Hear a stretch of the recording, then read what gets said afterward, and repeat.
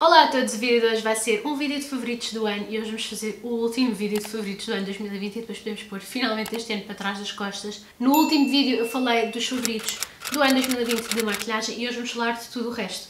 Portanto, eu vou tentar ser breve porque tenho desde corpo, autobronzeador, skincare de rosto, perfumes e cabelo. Portanto, o vídeo de hoje vai ser isto, por isso vamos começar. Categoria de cabelo, então, tenho que falar de máscaras de cabelo, sendo que uh, as mais usadas do ano foram a da Moroccan Oil, a Hydrating Intense Mask, que eu comprei no início do ano e está mesmo agora a chegar até ao fim. Tenho tido cuidado para poupá-la, vocês não sei se conseguem ver, está mesmo, mesmo, mesmo, mesmo, mesmo a chegar ao fim. Eles têm a normal para cabelos mais finos e ligeiros e têm esta que é aqui à volta castanha, que é a minha favorita, que é para cabelos mais espessos e é mais intensa. Para máscara de hidratação, esta aqui é top. Também gosto muito da Kerastase, a Mask Intense, vou por aqui. Eu neste momento não tenho, mas também é uma máscara que eu adoro. E também gostei muito de utilizar toda a gama Blonde Absolute da Kerastase durante o ano 2020.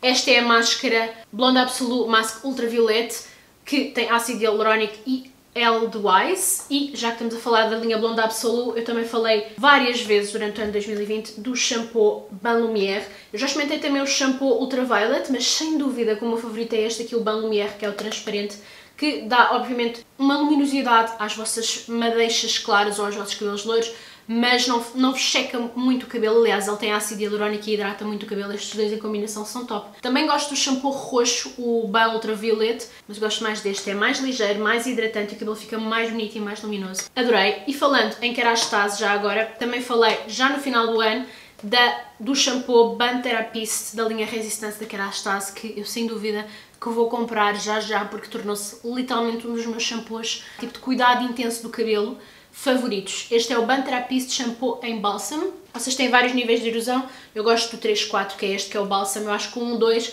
é em shampoo normal, tipo líquido, não tão espesso, mas este é espetacular para cuidado de cabelo. Falei da Moroccan Oil, esqueci-me de falar do Moroccan Oil Treatment, que é o meu tratamento leave-in de pontas de cabelo favorito, tipo há uns 10 anos. Primeira vez que eu comprei este Moroccan Oil foi a primeira vez que eu fui a Londres, que foi, se não estou em erro, agora faz 9 anos. Portanto, estão a ver, é aquele produto que eu tive alguns anos sem o ter, eu comprei-o na altura em que fui a Londres e se calhar tipo no ano seguinte, mas como é um produto caro, depois eu deixei de comprar e agora mais tarde, portanto, sei lá, pá, há 3 anos atrás, voltei a comprar outra vez continuamente e é, é sempre o meu óleo leave-in favorito do ano, aliás, de todos os anos, é o meu óleo favorito leave-in da vida, não é só do ano 2020, é tipo da década. Depois temos que falar de produtos, tenho aqui alguns produtos baratos de supermercado que eu gostei muito, não é? Também gosto de Kerastase, mas também gosto de produtos de supermercado. Vocês sabem que eu gosto de uh, equilíbrio na minha vida. Então, Produtos que eu gostei muito em 2020. Adorei descobrir os shampoos sólidos da Ultra Suave. Acho que é muito, muito... É assim, os meus favoritos sem dúvida que são os da Lush, portanto já agora, já que estamos a falar de shampoos sólidos, obviamente os da Lush são os que eu mais gosto. O Cynic, que é o azul, é sem dúvida o meu favorito de sempre. No entanto, gostei muito de descobrir este shampoo sólido ultra suave. Este é o de camomila, que é bom para cabelos loiros ou cabelos com madeixas, deixa o cabelo super iluminado. E é bom haverem shampoos sólidos em supermercado. Eu agora comprei o shampoo sólido de gengibre vital e quero muito experimentar. Porque eu adorei a máscara leite de gengibre vital. Achei em termos de supermercado, a máscara mais hidratante de supermercado, sem dúvida. Não é só uma máscara para deixar um aspecto brilhante, como por exemplo esta, que é que deixa o cabelo tipo mais brilhante em termos de aspecto exterior, mas tipo cuidado interior, esta é tipo a melhor e o cheiro é absolutamente maravilhoso. E lá está, como estava a dizer, também gostei muito desta máscara.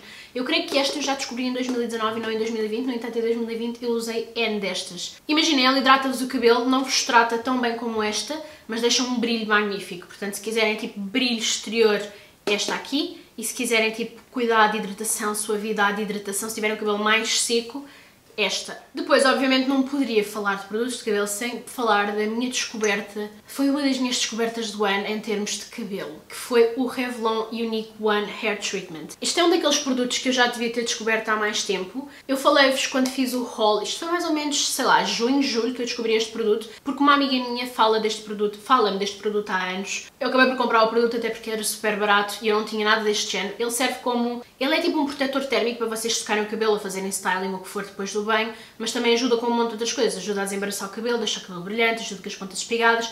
Ele tem tipo 10 benefícios, tipo num só produto, por isso é que ele se chama Unique One. Ajuda a proteger o cabelo, portanto, dos danos do secador e fica tão brilhante o cabelo. É mesmo daqueles produtos que eu acho que nunca mais, nunca mais vou largar este produto e é tão, tão, tão barato. De seguida, vamos passar para skincare de rosto. E, uh, não sei quanto a vocês, mas para mim, o ano de 2020 foi o ano do skincare para mim. Fiz descobertas, comecei logo no início do ano por descobrir a marca The Ordinary, quer dizer, não era uma novidade para mim, eu sabia da existência da marca, mas nunca tinha divagado muito na The Ordinary em ingredientes e comecei o ano mesmo a mergulhar sobre o skincare.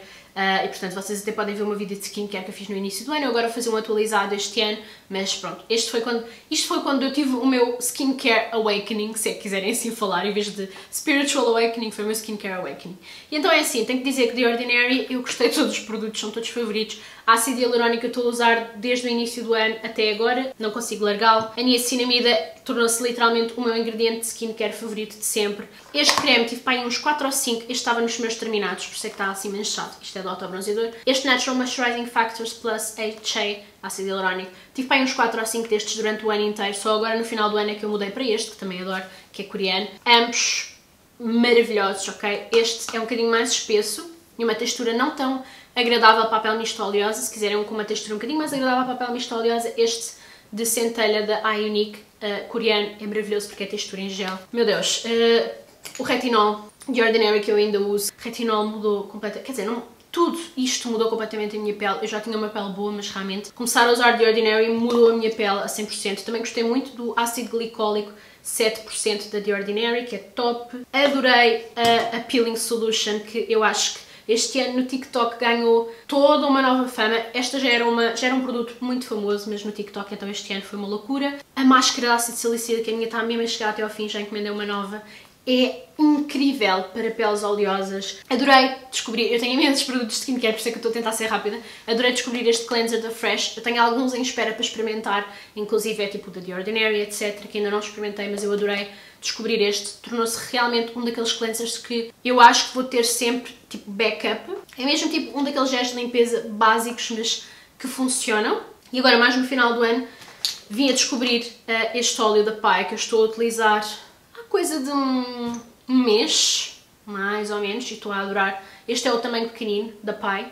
Vocês conseguem comprar, obviamente, o tamanho grande, se bem que eu sou mais apologista de comprar estes tamanhos pequeninos, se calhar não, é, não compensa muito em termos de dinheiro, porque se calhar sai mais caro comprar estes minis do que propriamente o tamanho grande.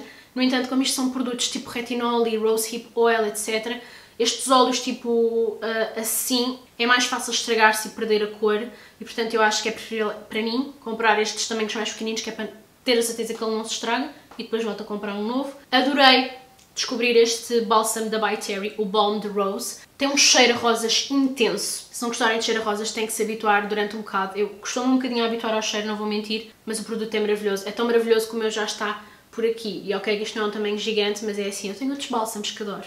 Aliás, eu até acho que tenho para aqui mais um bálsamo que queria falar, que é o da Freshly, também me apareceu durante este ano. É assim, foi mesmo, eu não estou a gozar. Eu sei que isto parece se calhar demais, tipo, como é que tens tantos favoritos, mas tenho. Para mim, 2020 foi o ano do Skincare Awakening para mim mesmo. Esta marca é espanhola e é super barata e este bálsamo é absolutamente maravilhoso e este é mais caro, também top. E depois tem, obviamente, um produto que eu já tinha tido há muitos anos e que voltei a comprar no final do ano. Foi um, eu não digo favorito do ano porque eu só o comecei a utilizar outra vez mais no final do ano, mas foi tipo uma redescoberta, foi uma das redescobertas do ano. Há sempre aquelas redescobertas Uh, e este foi um deles, que é o Veleda Skin Food. Uh, eu gosto especificamente do Rich, nunca experimentei o Light. Eu sei que eles agora têm uma versão mais ligeira para peles mais mistas oleosas, mas eu gosto deste espesso. Isto é um creme, tipo aqueles bálsamos que dão para tudo, tudo em um. Vocês podem utilizar no rosto, podem utilizar nas zonas secas do corpo, no, nas mãos. É assim, eu especificamente gosto muito de utilizá-lo antes da maquilhagem, mais nas zonas mais secas, porque ele é muito intenso e gosto que ele absorva enquanto eu faço, por exemplo, a minha maquilhagem de olhos, só depois é que ponho a pele. Também adoro para as mãos, mãos mesmo secas nesta altura do ano, é super normal, mas com este produto é maravilhoso. Cotovelos, é assim, é um produto daqueles que all in one e é super barato e uh, sem dúvida que foi uma redescoberta. Eu já não tinha há alguns anos e ainda bem que voltei a comprar porque, meu Deus, dá para tanta coisa e é tão bom e é tão barato. E por fim, tenho aqui, portanto, sem dúvida que as toalhitas mais utilizadas e favoritas foram as da Simple, que são as mesmas de sempre, de todos os anos, as biodegradáveis à prova d'água. No entanto, houve uma descoberta maravilhosa também, já no fim do ano, não vou dizer que tipo, foi propriamente um favorito do ano inteiro, mas foi uma descoberta do final do ano, que foram estas da Rituals, que também são biodegradáveis e que também tiram maquilhagem à prova d'água e têm um cheiro incrível. E depois, mais no final do ano, falei especificamente destas tiras que são da Peak Clear, da Holicaholic, aliás, são as Peak Clear, que eu adorei. Isto para mim tirou-me Tipo, foi a melhor coisa que eu utilizei para os pontos negros ever. Eu falei nos favoritos e sei que houve pessoas com mixed feelings. Eu tenho inclusive uma amiga minha que não gostou nada delas. Recebi alguns comentários a dizer que adoraram também, vocês desse lado, pelo menos das pessoas que experimentaram. Eu fiquei indecisa se não, não, tipo, não funcionou para elas. Portanto, olhem, para mim foi sem dúvida o favorito de 2020, mas parece que é um daqueles produtos que uh, divide um bocado tipo as aldeias, tantas pessoas adoram como odeiam, portanto olhem, eu sou uma daquelas que adora, experimentem se tiverem curiosidade. Depois, tenho aqui alguns produtos que apontei no meu caderno, que sem dúvida que foram produtos que eu adorei em 2020, mas não tenho neste momento. Os óleos desmaquilhantes da Nivea, especificamente o de macadâmia cor-de-rosa, é incrível. Eu nem acredito que é um óleo desmaquilhante ao preço que é tão bom. Ok, estou a acabar no skincare, eu sei que isto é muita coisa, eu sei, mas é foi mesmo um ano de descobertas. Tenho que falar também de outro produto que eu não tenho neste momento porque emprestei a uma amiga minha, que é a Laneige Lip Sleeping Mask, que é uma máscara de noite de lábios. Maravilhoso, vocês metem uma camada espessa antes de irem dormir e de manhã acordam com os lábios mais hidratados e mais macios que existem. E falando em Laneige, aproveito para falar da Water Sleeping Mask que eu descobri, eu acho que até foi em 2020, sim. Eu recebi uma pequenina no calendário do advento de 2019 da Sephora, portanto, tipo em dezembro, foi a primeira vez que eu tive contacto com esta máscara e em, tipo no ano inteiro de 2020 foi quando solidificou o meu amor por esta máscara de hidratação noturna, que é maravilhosa, lá está. Mais uma vez tem na Sephora, mas podem encomendar do site Estal, que é como eu faço porque acaba por ser um bocadinho mais em conta. É uma máscara maravilhosa, só para dar hidratação, água à pele, a pele acorda repulpada, brilhante, macia, hidratada, é top. E falando em máscaras hidratantes de noite, também adorei esta aqui que descobri também, se não estou em erro, em 2020, que é da Youth to the People, esta só mesmo da Sephora, que é Super Berry Hydrate and Glow Dream Mask. É uma máscara que vocês podem utilizar ou uma camada mais espessa, claro que eu tinha que deixar aqui qualquer coisa, ela até já está bem usadita, vocês podem utilizar como máscara tipo camada mais espessa e dormir com ela, ou que podem fazer, é o que eu faço muitas vezes, que é ponho os meus produtos todos de skincare e depois aplico esta máscara por cima como se fosse tipo um creme, nem uma, camada, nem uma camada fina nem uma camada espessa, assim um intermédio e dormir com ela. E a pele, mais uma vez, acorda chef's kiss. Ok, por fim, skincare só tenho mais dois produtos para falar. Uma máscara de hidratação, mas mais tipo nutrição, digamos assim, que é da Chanel, que eu amo profundamente, que é a Camellia Repair Mask. Esta é uma máscara hidratante, confortante, nutritiva, multiusos. É mais tipo uma camada tipo cerosa, não é tão aquosa como esta, nem tão cremosa como esta. E estas são noturnas, esta não. Esta é mais tipo uma cera bálsamo espessa. Não sei se vocês conseguem perceber a textura, porque isto tem uma cor muito clara, mas é tipo, parece mesmo uma cera bálsamo espesso. Eu nem sei como explicar esta máscara. Para além do cheiro ser absolutamente incrível, a pele fica nutrida e aveludada. É mesmo aquele veludo confortável. Eu não sei explicar a textura com que a pele fica, nem a textura da máscara, porque é, a textura da máscara é mesmo tipo veludo ceroso e parece que a pele fica tipo veludo ceroso mesmo depois de vocês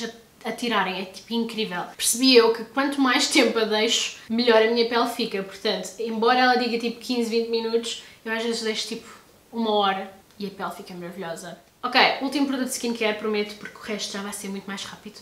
Um produto que eu comecei a utilizar no final do ano, eu no final do ano eu disse aqui várias vezes no canal que ia deixar crescer as minhas sobrancelhas, vocês sabem que as minhas sobrancelhas são aquele problema grave que eu sempre tive, que é as minhas sobrancelhas não crescem. Então eu tive, comecei em outubro a deixar crescer as sobrancelhas e não lhes toquei até tipo mais ou menos tipo 15 de janeiro.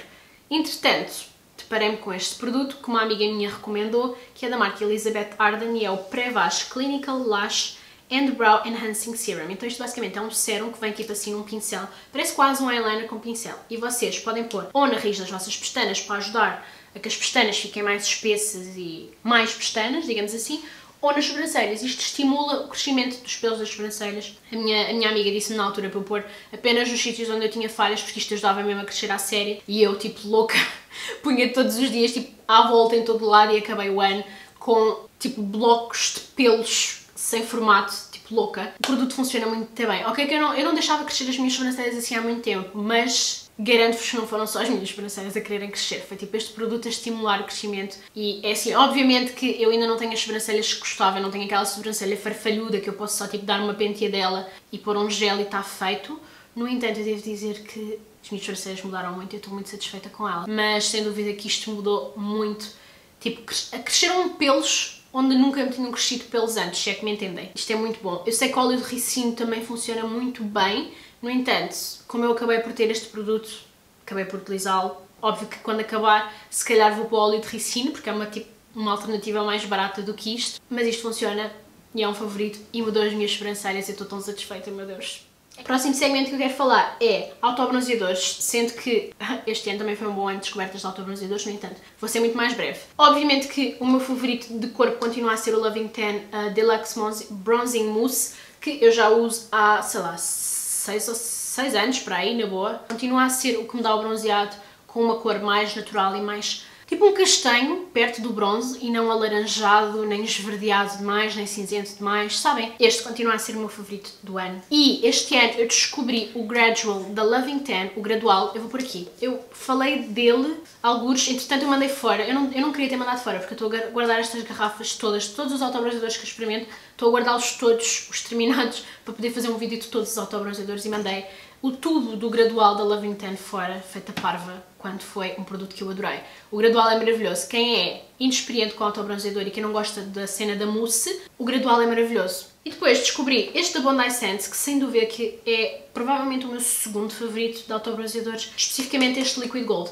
Uma das minhas melhores amigas usa o clássico e ela deixou-me experimentar logo no início do ano e também gostei muito do clássico da Bondi Sands, mas este Liquid Gold é top. Não é tão escuro como o clássico, mas este tem uma coisa específica, que é, ele é ele é liquid gold porque ele é à base de óleo de argão, tem tipo muito óleo de argão na composição. A pele fica tão hidratada. E atenção, quase todos os autobronzeadores secam a pele, mesmo as peles mais hidratadas. E este aqui, eu acho que não há pele que seque com este bronzeador. É mesmo, mesmo, mesmo bom. Também vem em mousse. É uma mousse, se não estou em erro, assim mais clara. Não é tão escura como, por exemplo, esta. E o bronzeado também não é tão escuro e não é tão castanho. É um bocadinho mais tipo golden. Mas a hidratação e o cheiro deste, wow! E, por fim, de corpo, também gostei muito de descobrir este da Isle of Paradise. Especificamente este Ultra Dark, eu acho que é um bocadinho escuro demais para mim, no entanto eu gosto muito da fórmula, aplica muito bem e o bronzeado é muito bonito. Eu experimentei também a água e gostei, mas gosto mais desta espuma. Acho que a água não é tão user-friendly, sinceramente. Eu estou habituada a pôr bronzeadores escuros, mas depois quando ele começa a desaparecer acaba por ficar um bocado evidente porque é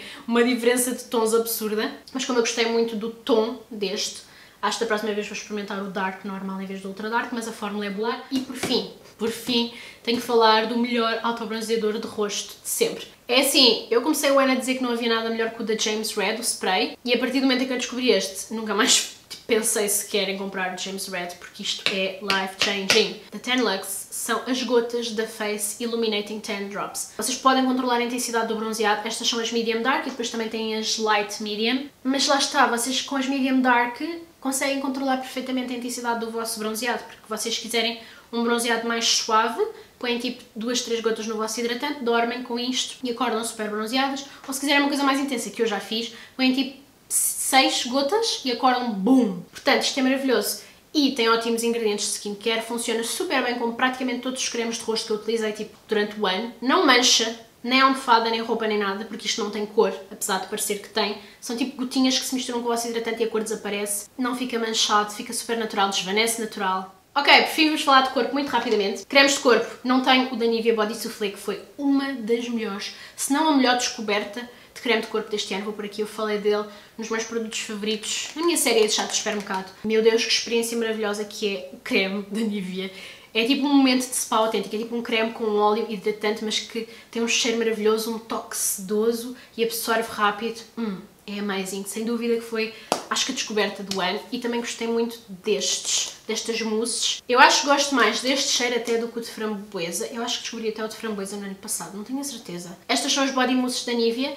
E se quiserem uma coisa ligeira para o verão, é assim, se quiserem uma coisa mais hidratante e mais luxo em termos de experiência, a Body Soufflé, o pote. Se querem uma coisa mais fresca, rápida absorção, frescura, hidratação ligeira, mais líquido, este. E adorei voltar a ter os meus cremes da Soap and Glory, que não foi descoberta, sem dúvida, do ano, porque eu descobri estes cremes, lá está, há 9 anos atrás, quando fui a Londres, comprei um, estes cremes da Soap and Glory, e agora já se consegue comprar a partir de Portugal, que é maravilhoso, porque estes anos todos não se podia comprar estes cremes. Eu adoro esta marca e adoro especificamente as manteigas corporais, sendo que a Sugar Crush é sem dúvida o meu cheiro favorito, mas uh, agora a Maki Beauty, tanto a Maki Beauty como a Primor têm uh, os produtos de corpo da Soap Glory e eu não podia estar mais satisfeita. É assim, estes cremes são maravilhosos. Isto é tipo manteiga, mas é espessa, com um creme e um toque muito luxuoso. Em termos de cheiro é super luxuoso, muito British. A textura também, a hidratação super intensa, mas absorve super rápido na pele. Adoro, adoro, adoro. E não são nada caros. Ok, estamos a chegar ao fim. Tenho que falar desta máscara de pés esfoliante. Quem quer fazer esfoliação intensa aos pés, literalmente, sair-vos as peles todas dos pés e terem pés novos, isto é tipo a melhor cena que há. Eu falei nos terminados, isto portanto já fiz duas, eu fiz duas o ano passado. Eu acho que isto não se pode fazer muitas vezes, eu fiz duas vezes. Fiz uma tipo a meio do ano e uma no final do ano. Uh, estas máscaras são maravilhosas, são da OK, é uma marca coreana e é Exfoliating Green Apple Foot Peel Mask. Isto são basicamente tipo umas meias com líquido, vocês deixam uma hora e meia aos pés submersos nas meias e parece que não acontece nada durante uns dias, mas passar tipo, sei lá, 4, 5 dias, os vossos pés começam a escamar e durante uma semana vocês uh, perdem tipo toda a pele quase possível nos pés e depois os pés são, tipo a pele está fresquinha, nova, não há calos, não há peles, não há secura, não há nada. Pés de bebê recém-nascido, é incrível. A experiência não é muito agradável. Eu, a primeira vez que fiz no verão, eu não sabia o que é que me esperava. Eu lembro-me perfeitamente de andar descalça e deixar, tipo, parecia que deixava migalhas atrás de mim e era tipo peles. A cada passo que eu dava, eu largava tipo montes de peles no chão. O fundo da minha cama. indescritível. Mas, depois de todo o processo, passado para aí duas semanas, pés maravilhosos. Ok, eu vou acabar com a melhor descoberta do ano 2020 para mim. Se viram o vídeo de produtos sustentáveis ou alternativas sustentáveis, eu vou linkar aqui, vejam este vídeo. É um vídeo que eu estou super orgulhosa porque fala de coisas boas para o planeta, não é só bo coisas boas para o nosso ego, é mesmo para o planeta também. Portanto, é um vídeo que eu estou muito orgulhosa e gostava que vissem, porque é bom para todos. Era bom todos nós adotarmos nem que fosse uma daquelas coisas que eu falei ali, e se puderem todas. Nesse vídeo eu falei disto, do desodorizante da Wild, que mudou a minha vida, literalmente. Não mudou o meu ano, mudou a minha vida. Isto é um desodorizante natural, vocês têm tipo, a, compram a case, têm várias cores, esta é a minha. Depois vocês têm tipo os refills, que são assim. Este, por exemplo, é o refill de Coconut Dreams. E eu tenho um refill aqui dentro, que neste momento é o de Mint Fresh, está aqui. É só fazer twist, utilizar e tá. Isto é tudo natural, não tem alumínio. É tipo à base de coisas naturais, não tem qualquer tipo de ingredientes nem fragrância que vos possa causar irritação, não tem aqueles ingredientes que são tipo cancerígenos e é super eficaz. E é assim, vejam o vídeo de alternativas sustentáveis porque eu falo mais em detalhe disto, porque isto mudou mesmo a minha vida. Eu não atinava com desodorizantes, nunca atinei com desodorizantes, era tipo desconfortável e atinei finalmente Ainda bem que descobri isto, foi tipo a melhor mudança, não só, não só foi a melhor mudança de beleza que eu fiz no ano 2020, foi tipo a melhor coisa que eu descobri no segmento de beleza. Meu Deus, não tenho palavras. E pronto, é este vídeo, espero que tenham gostado. Espero que este vídeo tenha ajudado de alguma maneira e quero muito saber se já experimentaram algum destes produtos, concordam comigo, não concordam. E quero saber, obviamente, quais foram os vossos produtos favoritos do ano 2020. Comentem tudo comigo aqui em baixo. Espero muito que tenham gostado do vídeo, não se esqueçam de subscrever, partilhar o canal e até ao próximo vídeo.